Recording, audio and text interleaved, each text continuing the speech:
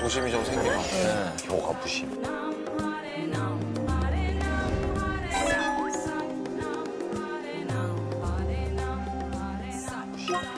오, 잘하시다. 열심히.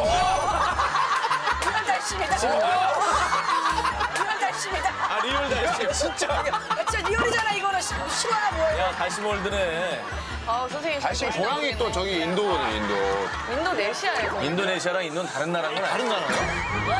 다른 나라인 건 다른 나라요? 잠깐 브리시. 잠깐만 잠깐만 이거 잠깐만 이거 자 인도네시아 인도. 자 잠깐만. 이거 이시연 씨 이거는 설정이에요 오빠. 이 이시연 씨.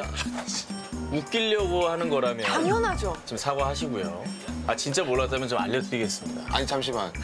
진짜 너, 야, 다른 나라를 인도, 인도네시아. 아 모를 걸 물어. 잠시만, 너 알아? 다른 나라죠. 어떻게 다른 나라인데? 아니 그 GDP가 달라요 다 나라 그 아유 GDP GDP 더 몰라. GDP 더 모르지. 인도 인도 기기가 아니고요. GDP. 1인당 GDP가 인도네시아 좀 더 높을 거야 아마. 아니, 오 아, 그럼 어떻게 돼? 기아님 아니, 이제 저 얼굴에서 솔직히- 빠져야겠는데? 아니 그렇 그 아니 그거 알지 않아요 그런 거? 요즘 거. 무슨 인문학 강좌 들으세요? 이렇게 똑똑해졌어. 방콕은 들어가지, 방콕은. 방콕은 나라인 줄 아셨나요? 형님 수능 그때 90점 90점 맞았다. 나 약간 이해했어요. 90점 90점 맞았다. 나 약간 이해했어요. 400점 만. 그런 얘기를 왜 해? 나나 170점 맞았다. 야두 배네 두 배.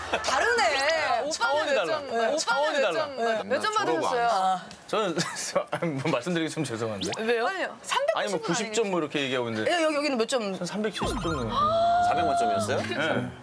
진짜 낯설다. 어, 진짜 낯설다. 야 일로 와 우리한테. 아니야 잠깐만. 완전 달라. 90이 더 낯설지 않아? 90이 더 낯설지 여기, 어떻게? 여기 좀 가까워요. 아 그래요? 예, 예. 아니야. 아 90이 더 낯설지 어떻게? 아니 아니 아니 우리 아니. 엄마 190 받은 줄 안단 말이야. 190이요?